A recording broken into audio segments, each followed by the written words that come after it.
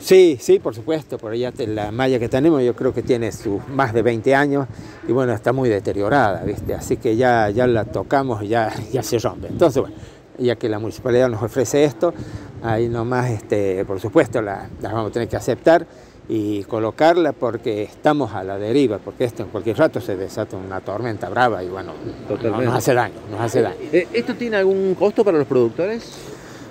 Bueno, por el momento nos dijeron que no, que esto era un subsidio que nos daba, que nos daba la municipalidad, así que esperemos que sea así, no sé, por lo menos es, eso es lo que nos dijeron. Pero viene a través del INTA, ¿no? Sí, sí, sí, sí, también de la municipalidad con el INTA.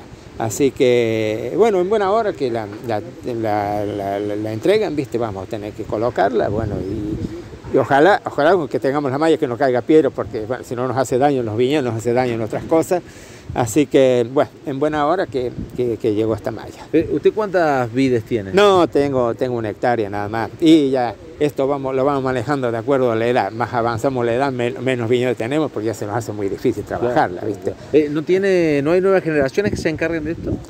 No, che, ya la, gente joven, ¿viste? Una que, sí, por supuesto, nos están eh, no presionando, pero bueno, nos están exigiendo que sigamos con, la, con las viñas, plantaciones nuevas viñas, pero ya la mayoría es gente grande, gente grande y para que dé una producción, una viña, tenemos por lo menos de 4, 3, 4 hasta 5 años para que empiece una producción, ¿no es cierto? Entonces, para la primera cosecha, Claro, ¿quién, ¿quién aguanta ese simbrón, ¿no es cierto? Sí, a lo mejor puede haber subsidios, pero esos subsidios son fuera subsidios por un año o dos, hay que subsidiar por lo menos 4 o 5 años a que, a que la gente, a que la gente pueda, porque es mucho, tiene mucho costo la viña, entre el, si hay que conseguir las viñas, el alambre, los postes y el trabajo, la mano de obra, es un costo carísimo. Así que ojalá que algunos, pero los jóvenes, como te digo, ya, ya están en otra cosa. Y como esto, como esto lleva mucho tiempo hasta que produzca, a lo mejor alguno como hobby, bueno, en una vez por ahí se le ocurra plantar unas viñitas para, para, en fin, para, para entretenerse, para, para, bueno, para, para un hobby, como digo, ¿no? Eh, hoy el recambio hacia dónde va? Digo, eh, ¿van a la ganadería, eh, animales de corral, veo que está creciendo mucho también en Carolla, o se van a los cultivos? La mayoría empleados y otros, bueno, che, vos sabés, el boom de la soja, a pesar, bueno, que sí, la soja tiene buen precio, tiene sus costos también, ¿no es cierto?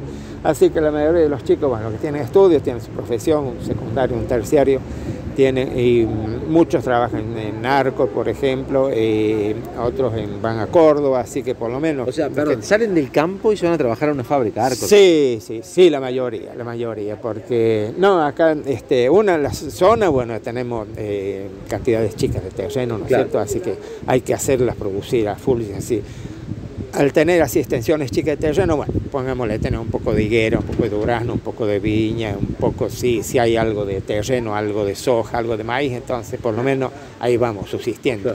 Pero los jóvenes, claro, no, no, les gusta esto porque a lo mejor tienen que esperar una cosecha un año y, ellos necesitan la plata todos, los fines de semana, todos los fines de semana.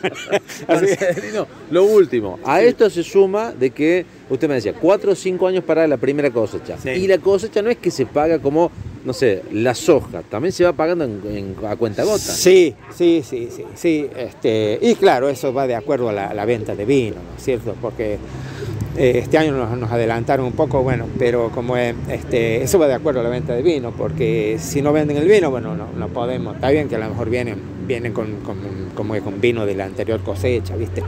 Así que entonces creo que yo estoy de acuerdo, mira, porque por supuesto algunos quieren entregar y pagar de contado, que te paguen de contado, pero bueno, ya estamos acostumbrados a esto, así que tenemos que seguir como estamos. Totalmente. Ahora sí, lo último, discúlpeme que le quite tanto tiempo. Digo, ¿qué piensa cuando por allí, eh, a través del gobierno, digamos, se difunden los famosos caminos del vino, se hacen catas, se hacen fiestas pomposas y por ahí no se sabe cómo es la realidad del productor, de dónde salen las uvas? Sí, este Sí, lo veo que esto es camino del vino. Bueno, no tengo mucha noción de esto, pero está, muy bien encaminado. Hay gente que está más al tanto de esto, ¿viste?